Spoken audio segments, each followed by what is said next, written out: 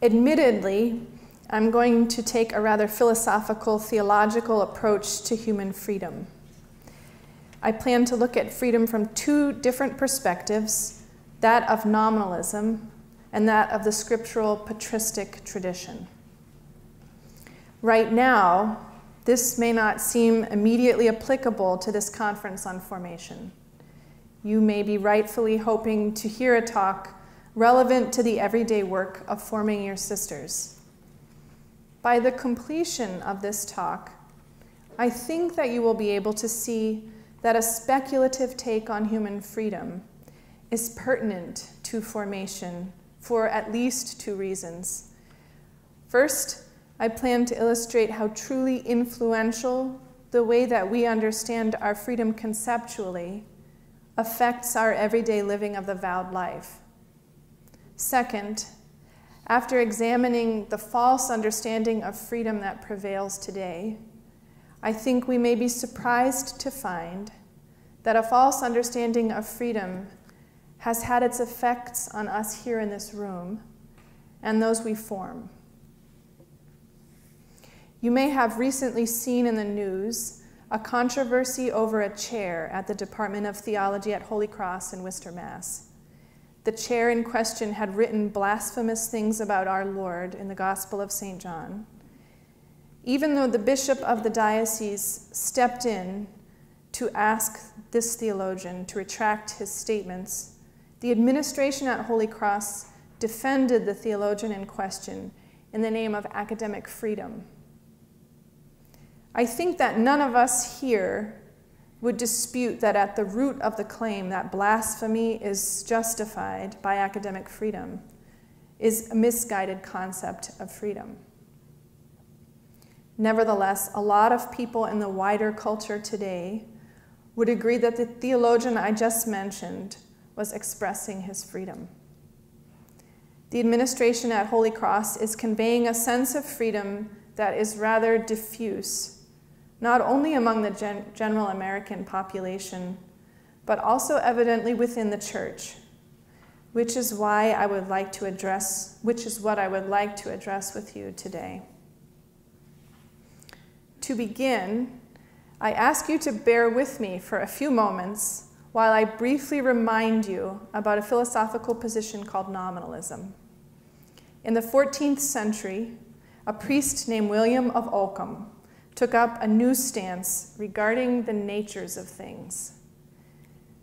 Prior to William of Ockham, the prevailing biblical patristic worldview held that since God created all things through his word, the reality we live in is imbued with the intelligible truth and goodness of God. Creation reflects the mind of God. Things in the world, especially living things, have natures, ways of being and acting proper to them as designed by God. As we all know, the study of the being of things in creation and of God Himself is called metaphysics. Ockham saw metaphysics as complicated and unnecessary to understand the world in which we live. He thought that instead of things having natures which men grasp, it was simpler to say that men project their ideas of what things are onto reality. For Ockham, God, men, and the living things around us don't really have natures. The names men call things are arbitrary, based on a decision of the human will. For example, for a nominalist, a tree doesn't have the nature of treeness. The way of being a tree is not something real and truly distinct from the way of being, say, a dolphin. Tree is just the name that men call every mass of bark and leaves. Ockham started the Western intellectual life and culture on a philosophical track that we are living out today. We are nearly entirely converted to a nominalist way of thinking. For example, we tend to view the world as mechanistic, through positivist lenses, so to speak, where only matter and physical forces, guide the universe. We take this way of thinking for granted. It pervades our vision of reality. The real problem with nominalism is not only in how we think of trees or dolphins. Nominalism conduces to a particularly problematic understanding of God and the human person's freedom. It causes us to imagine that prior to anything else, man is free. A man is his will. We are most free when we can choose without anything hindering us. Within a nominalist mindset, freedom is being able to choose between opposite things, whether I wear red or whether I wear green, whether I wake up at dawn or whether I wake up at noon, even choosing between heaven and hell. When I cannot wake up at whatever time I want, I am unfree. The wider the scope of options that I can choose from, the freer I am. This perspective on freedom subtly assumes something about man. It assumes that a man's will comes before anything else in him, before my intellect, before anything natural to me, before any of my inclinations or passions. Within the nominalist worldview, man really has no nature aside from his freedom. I think we can all see where this leads and how it relates to our present culture. But this fundamental understanding of human freedom plays out in the moral life that we all live in two ways that on the surface might seem opposed. The one face of nominalism is easy to connect with what I have just described. It fosters a moral life where the most important value is to defend human freedom from whatever would stifle it. This could include laws, it could include traditions, it could include God Himself. The subjective aspect of the person has to be exalted in a nominalist system in order to save freedom. The heavy handed rules of God or of the church have to be passed up in favor of the individual's conscience. To defend human freedom, rulemaking needs to be handed over to the human conscience. Conscience must be defended, respected, and revered above all things. We can easily recognize this face of nominalism in the idea of freedom presupposed by the administration at Holy Cross or in various gender theories that are popular today. It is a vision of human moral life that defends freedom at all costs. It leads to extreme subjectivism and relativism. The other face of a nominalist understanding of freedom might be less recognizable to us here in this room. Occam did not only imagine that men can be identified with their freedom.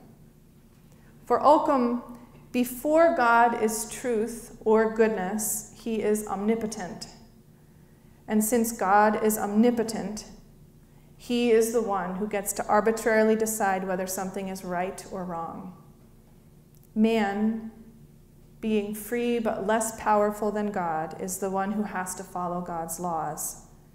God's will determines the moral law because he's the most powerful thing in the universe.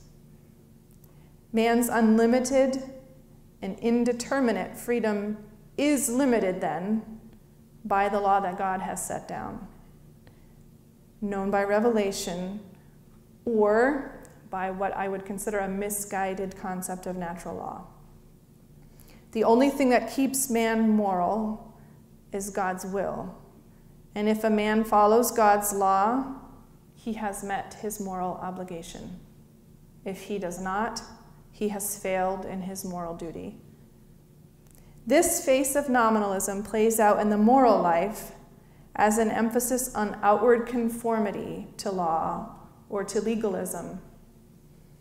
The telltale marks of a legalist approach to Christian morality are a focus on sin, conscience, and law or norms.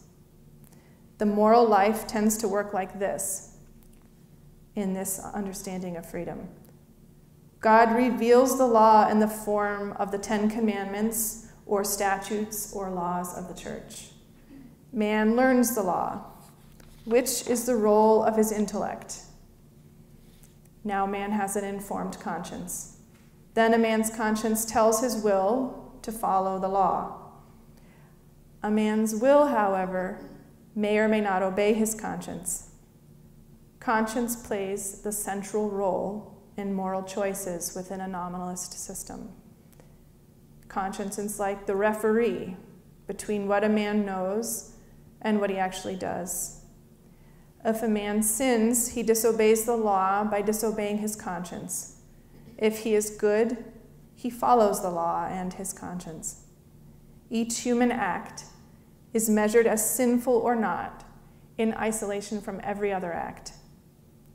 This is where we get casuistry from, which is the nitpicking examination of moral case studies, and this used to prevail in moral theology. In fact, this is usually what people assume I study when I say that I study moral theology. They usually say things like, better you than me, or how boring to study the rules. So, a nominalist understanding of freedom has two opposite manifestations legalism on the one hand, and subjectivism on the other hand. Now, let us turn back to the recent history of religious life in the United States.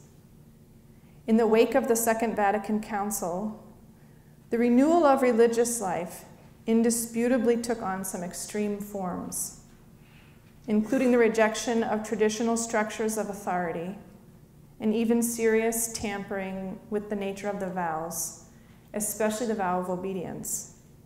In many cases, religious wanted to throw off the constraints of the habit, the horarium, and superiors in favor of what they called freedom of conscience or the development of mature autonomy. They wanted to privilege personal experience over rules and traditions, and to hand decision making over to groups of religious instead of to superiors, or even worse, the hierarchy of the church. It is not hard to imagine that some women religious today would likely defend the academic freedom of the theologian from Holy Cross that I just mentioned. I think it is not hard to see the connection of this kind of renewal of religious life with the nominalist understanding of freedom that I just described. But the problematic renewal of religious life that we have all lived through did not crop up spontaneously. Legalism was actually a serious problem in moral theology in the church prior to the Second Vatican Council. If legalism is well known to have been a problem in the larger church, it is not a stretch to see that it was also a problem among many women religious communities in the United States. When in 1965, Blessed Pope Paul VI requested in Perfectae Caritatis that religious renew, he asked, and I quote, that constitutions, directories, custom books, books of prayers and ceremonies, and such like be suitably re edited and obsolete, and obsolete laws be suppressed. He also asked, and I quote, that everyone should keep in mind that the hope of renewal lies more in the faithful observance of the rules and constitutions than in multiplying laws. But even before Perfectae Caritatis, Pope Pius XII asked for renewal in religious life in the 1950s in light of what he called outdated practices, which I quote, if they had once made sense in a different cultural context, they do not today. And those things which are not essential, adapt them to the extent that you consider consistent with reason and well ordered charity. The request of both Holy Fathers for renewal around the time of the Council does not seem to be directed toward tightening up what was lax, but toward overcoming an excessive burden of law. What does this tell us now, here? I think it tells us that the destruction, destructive version of renewal of religious life that we witnessed after the Second Vatican Council had deep roots. If legalism and subjectivism have the same root, which is a false understanding of human freedom, it already existed before the Second Vatican Council. Let us not forget that some of the worst scandals of pedophilia in the church stemmed from events that came prior to the council. I think that this recent history gives us reason to continue to reflect on how we see human freedom. For example, if the primary focus of formation is on conscience, or the central discussion about formation revolves around respecting conscience, we might still be struggling with a nominalist understanding of man and God. Underneath it all, authority is being seen as a potential threat to personal conscience. Freedom is imagined to be the deepest ground of the human soul. In young religious women, a nominalist vision of freedom can look like ambivalence toward their vocations, a tendency to want to defend freedom at the cost of all commitments, the need to leave all doors wide open.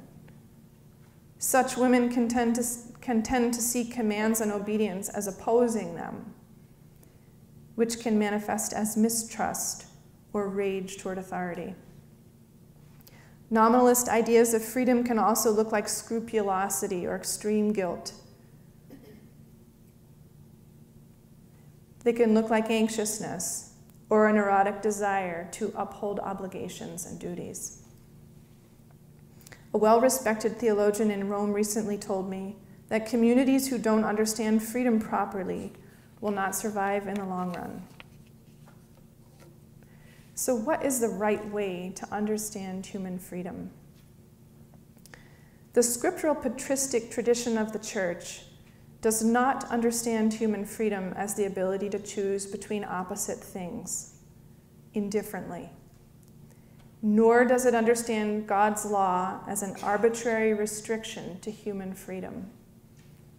At first, the differences between a nominalist understanding of freedom and a traditional one may seem subtle, but the differences in where the emphases are put in the moral life as a result of the two perspectives of freedom are enormous. First, following Scripture, the fathers of the church did not describe God as arbitrary in his freedom. For them, God is a trinity the Son, who is the Word or the Logos, who proceeds from the Father.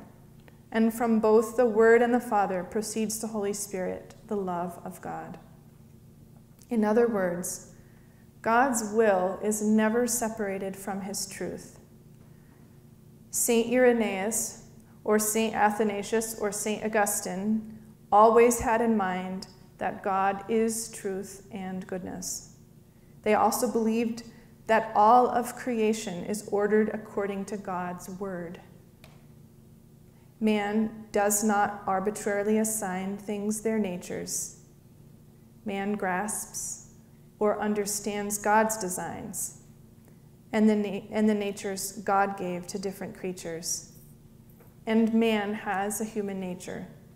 He is both rational and an animal as God made him. His rational and even his lower nature is oriented to God. Prior to making choices or exercising his freedom, man is naturally made to know and love God. Man most deeply longs for happiness, which is fulfilled only in God, the true good. Man's freedom, then, is not indifferent by nature, but it comes out of his capacity for reason truth, and goodness. Man cannot choose whether or not he ultimately longs for truth and goodness. He longs to be happy, and God alone makes him truly happy. desire for truth and goodness is inscribed upon the heart of man. And it is out of this heart, determined to God, that he makes good choices and free choices. Freedom then is being able to choose what is truly good, what leads to God. And true freedom leads to happiness. This understanding of freedom needs to be developed, guided, and helped by grace. It is freedom for human excellence and fulfillment, not freedom to choose indifferently between opposite things. Grace and virtue perfect a man's freedom. Truth sets man free. Faith, hope, and charity, then, are the ultimate way to freedom as a participation in the inner life of God Himself.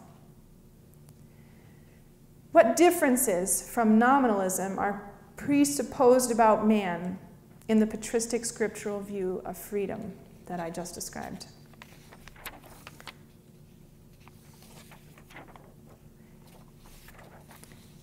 I showed before that a nominalist understanding of freedom assumes that the intellect and will of men work separately. To repeat what I said before, first the human intellect learns the law, then it imposes the law on the will, then the person exercises his free will for the good or the bad. Were it not for the intellect, the will would otherwise be free to choose between opposite things. Recall also that the conscience serves as the guide and referee between the intellect and will. In the nominalist view of freedom, then, the intellect and the will can even appear to be in opposition to each other. From the traditional perspective on freedom, on the other hand, our intellect and will always work together harmoniously and simultaneously. The, orient, the orientation of our mind to truth and the orientation of our will to good things always works together. Actually, the human intellect and will operate similar, similarly to the processions of the Word and love in the Holy Trinity. In fact, this is what St. Augustine and St. Thomas Aquinas understood when they said that man is in the image of God.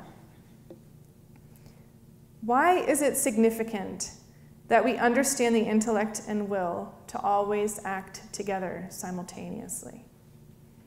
If the intellect and will are a unit in us, our human freedom does not flow from the will alone, but from the intellect and the will.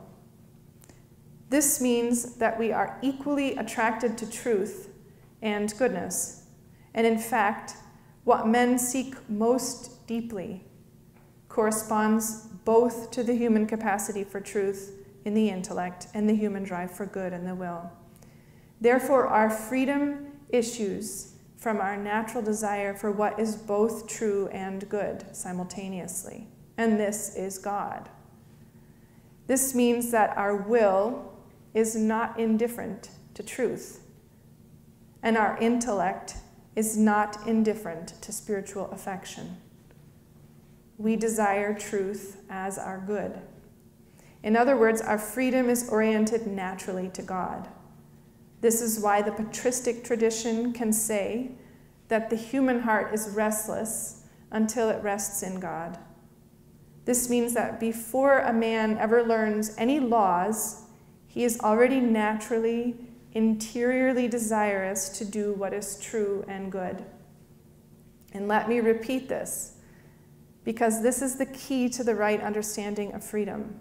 Before any laws are written, man has a natural moral instinct to achieve the good he was created for.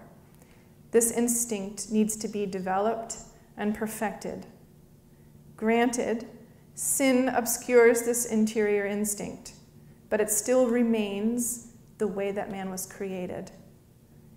Moral rules, then, if they're true moral rules, are the articulation of what a man is naturally inclined to do. From this more traditional view of freedom, a schema of moral action emerges that is very different from the nominalist one that I outlined earlier. To show what I mean, I'm going to make four comparisons. First, The overall goal of the moral life shifts from an emphasis on law in a nominalist uh, ontic to an emphasis on achieving beatitude. Since the human capacity for freedom is given to us by God and fulfilled by knowing and loving God, instead of aiming to meet obligations, the Christian moral life aims at true happiness. Doing what is truly good is not a constraint upon the free will, but the fulfillment of our human nature, and it leads to our happiness. The freer we are to know and love God, the happier we are. Obviously, this requires the help of grace to achieve it. In the oldest traditions of morality, beatitude and not obligation is the measure and goal of our moral life. And please do not understand what I'm saying right now. I am not proposing that laws and duties disappear in a traditional idea of freedom, but it's a shift from a nominalist idea of freedom to a scriptural patristic one, which refocuses the goal of moral effort from keeping obligations to achieving, true happiness. Law is seen as a stepping stone to growth in happiness, peace, and joy in Christ. Again, I'm not advocating relaxing our rules or our horariums. All the obligations that the church teaches are essential to religious life are very important, but they should not be confused with the goal of religious life, which is to exercise faith, hope, and charity, and to be perfected in the exercise of faith, hope, and charity, which is to become friends with God. What is the danger of fostering a morality based only on obligation? Let me give you just an example. If keeping the Ten Commandments or avoiding sin or keeping the rule becomes an end in itself, I can be satisfied as soon as I conform to the outward law.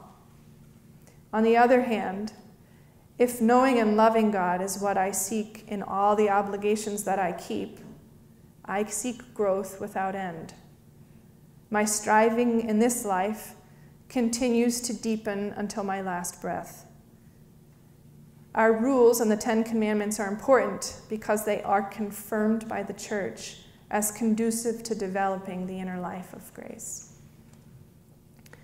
With an outlook on human freedom more in keeping with the gospel, for the Christian life, the moral code shifts from the Ten Commandments primarily to the Sermon on the Mount or the Beatitudes. Blessed are the poor in spirit, for theirs is the kingdom of heaven. Blessed are those who mourn, for they will be comforted. Blessed are the meek, for they will inherit the earth. Blessed are those who hunger and thirst for righteousness, for they will be filled. Blessed are the merciful, for they will be shown mercy. Blessed are the pure in heart, for they will see God. Blessed are the peacemakers, for they will be called children of God. Blessed are those who are persecuted because of righteousness, for theirs is the kingdom of heaven. Blessed are you when people insult you and persecute you, and say things falsely say all kinds of evil against you because of me. Why would the Beatitudes take precedence in the Christian moral life based on a freedom for excellence? Because the Beatitudes describe an inner disposition that fosters true happiness and freedom in a man. They describe the way a man cooperates with the grace of Christ. The second shift of emphasis in the moral life, following upon a better understanding of freedom, is that human passions and natural inclinations are not viewed as a hindrance, but as the source and backbone of the moral life. This may sound surprising to us at first. Our natural desires, written into our nature by God, actually need to be fulfilled. Of course, I do not mean that every urge for food or comfort should be met. What is important, though, is to see that our inclinations, starting with the highest inclination of our intellect and will toward the true and good, are instilled in us by God and guide us to happiness. What I mean is that passions and inclinations are not to be deadened, but developed, integrated, and ordered. The work of formation, then, is not to foster a lack of desire in a young woman but instead to intensify her desire for God. She can best love God if all her inclinations and affections, fully alive, are directed to and absorbed by the love of God and of the things of God, which includes the love of neighbor. To make an example, we often hear it said, we often hear holy indifference spoken of.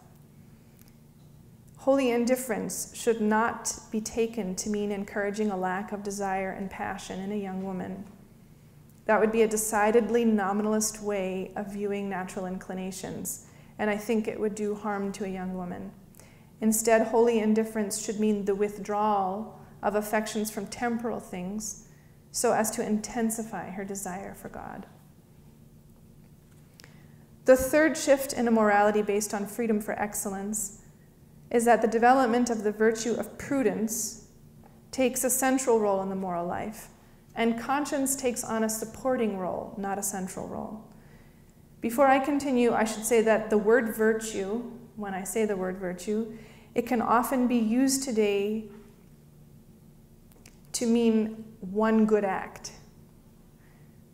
This is an understanding of virtue in a nominalist sense. For example, when someone gives alms, we call that act virtuous.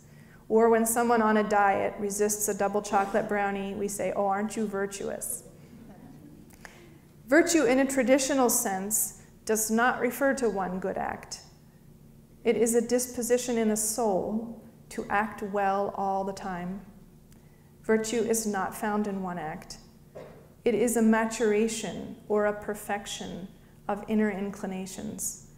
The natural desires in us, especially for the good and the true, start off in a seed form.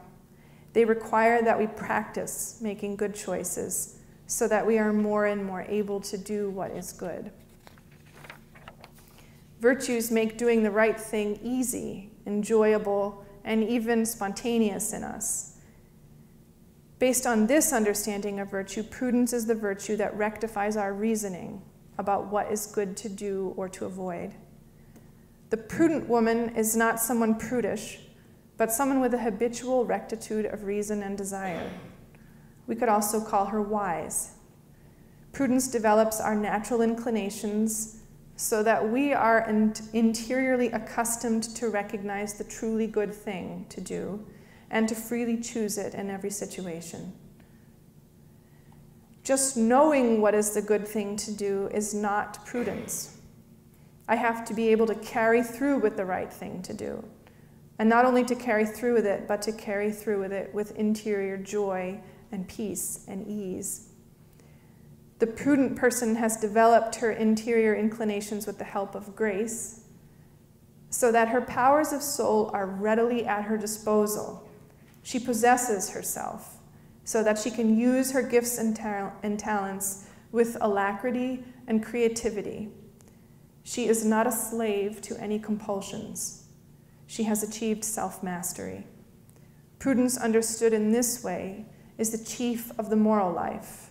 Conscience takes on the supporting role, allowing us to reflect on choices we have made so that we can make better and better ones. In this way, conscience helps us. It, conscience helps us to form prudence and other virtues. Formation built on a traditional view of freedom, then, focuses more on the interior development of prudence, which is actually the same as the development of interior freedom. Prudence is the virtue that makes us capable of freely and creatively choosing to do what is true and good. Notice that from this perspective on freedom, conscience is not imagined to be under constant threat of constraint or violation. The fourth shift in emphasis on a moral theory based on a more traditional view of freedom is that sin and evil are incorporated into a wider context than just failure in duties or obligations. Sin is not essentially doing what God said not to, it is choosing what is harmful to man, contrary to man's capacity to participate in God's own life.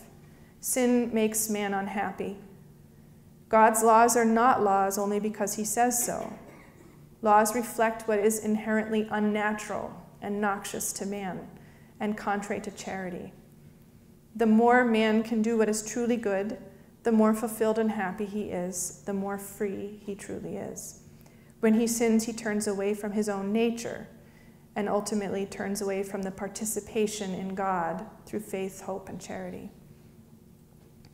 Before making some suggestions about how we might inculcate a healthier view of human freedom in the young women we form, I would like to point out something true of all of our institutes.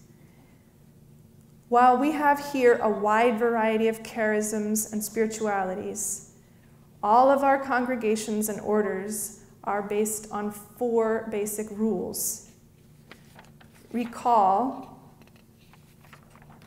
that after the Franciscan rule, the Holy Father capped the possibility to create any new rules. As a result, all of our communities are based on rules written in the patristic age or in the early medieval period for the Franciscans. So, at the foundation of all of our constitutions is a presupposed understanding of human freedom that is not compatible with nominalism. At the same time, all of the young women entering religious life today are coming to us out of a nominalist cultural context. And for that reason, it is nearly impossible that they are unscathed by its false sense of human freedom. How then would a formator teach or encourage a right perspective about human freedom in the young women she's forming? First, I think a minimal philosophical and theological formation in line with the biblical patristic tradition would be of great value. I'm not suggesting that all women in formation should earn degrees. Still, given the philosophical deformities rife in our culture today, it can be of inestimable help to a young woman to reflect on how she thinks of herself, the world, and God. We can help to remove obstacles to interior freedom just by helping a young woman to uncover false ideas and subsequent false reasoning that plagues her. Second, we, the formators, can model interior freedom by growing in true freedom ourselves. How we relate to authority, what we emphasize in our corrections and in our dialogue with young women we form, will all imply how we understand the relation between our obligations and our freedom. If we see every obligation of our life as oriented to the love of God and the deepening of our spousal union with Him, this will be observed and imitated by those we form. What we want is for a young religious woman to see that every command of the superior becomes the opportunity not to give up her freedom, but to make an interior free choice to love God in faith. By growing in faith, hope, and charity, she imitates her divine spouse more each day. To conclude, I would simply like to reiterate that freedom is central to religious life and therefore to formation. God the Father initiates a call to religious life in a young woman, and he gives her the grace of Christ and the guidance of the Holy Spirit to follow her vocation. God gives the charism and the inner promptings of grace necessary for each young woman to fulfill her vowed life and to grow in holiness and happiness. The formator's role then is to recognize and respect God's work, first and foremost, and then to guide a young sister to cooperate with him freely and creatively. Human freedom is the meeting point between God and the human soul the more a formator can help a young woman to make truly good choices, the more she can grow in union with God. To guide those we form to cooperate freely with grace, we have to have an adequate understanding of human freedom ourselves. How we understand freedom will have an incalculable impact on how we live our lives as religious and form the next generation of women religious. Thank you for your kind attention.